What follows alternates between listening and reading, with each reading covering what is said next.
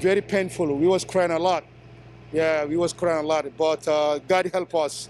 Thank God, you know. So, So our friends, three kids passed away. Our friend daughter passed away also. oh I mean, yeah, unfortunately, you know.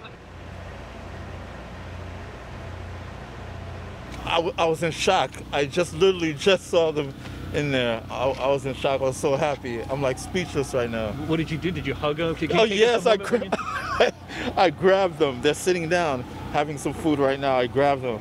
Like my eyes couldn't believe it. How many It's people are in crowded. there? It's like at least hundreds of people in there.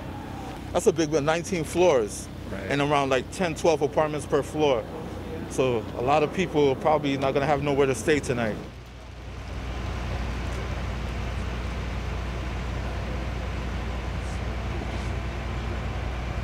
looking at those who are sitting there, majority of them are West Africans from Gambia.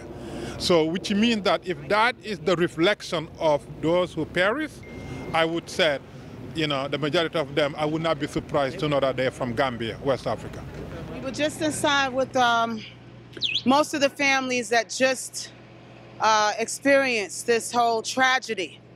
Oh my God! So I spoke to two family members that was telling me that how they survived and how they just stayed in their house and put down um, towels, wet towels. And one of the young ladies, she took out her air conditioner out of the room in order for air to flow through. Um, so we did a prayer visual together. Uh, we prayed for the families, for all church leaders. We all came together and we prayed together with the families and encouraged them